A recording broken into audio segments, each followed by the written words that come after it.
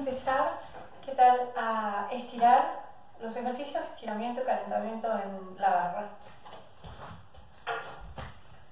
Pies juntos.